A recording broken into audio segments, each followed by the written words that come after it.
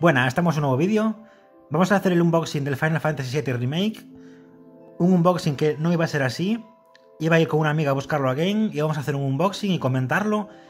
Pero por culpa de la pandemia esta que tenemos, pues eh, me lo enviaron a casa, la verdad. Fue muy rápido, me llegó poco más de un día, tardó, una vez hecho el pago. Y vamos a ver lo que trae. Como veis trae un póster, que vamos a girarlo. Es doble.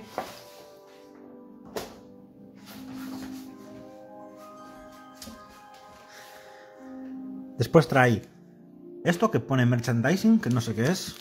Vamos a abrirlo.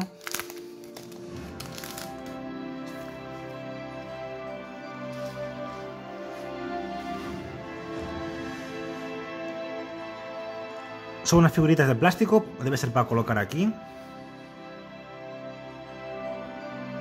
Bueno, ya veré cómo es, muy chulo. Vamos a ver la caja.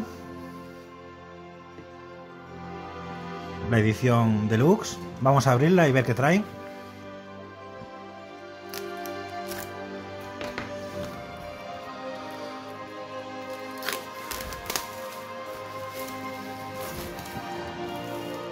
Una pasada, las letras con, con relieve.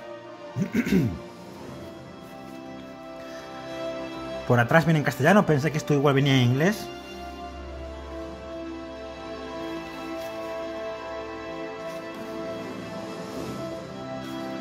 Vamos a abrir. Vale, lo primero que tenemos es un Steelbook. Qué pasada, con Sephiroth ahí. Muy chulo.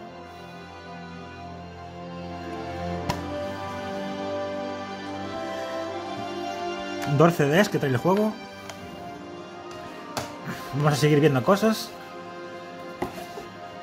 El artbook.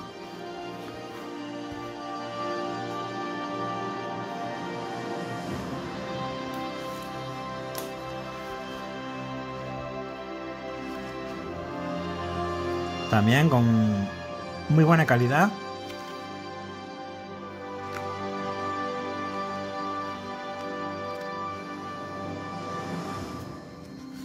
Una pasada los, los diseños.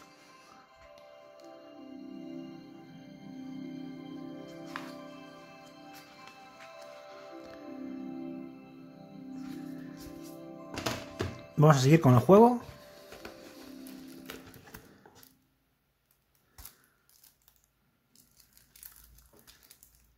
Que supongo que traerá solo los, los 12 CDs.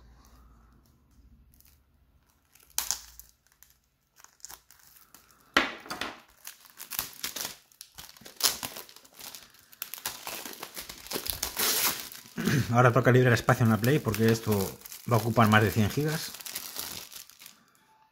Se nota ya en el peso que son los CDs.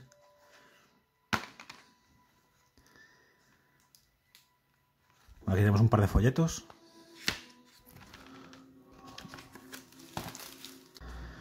Y por aquí los dos CDs.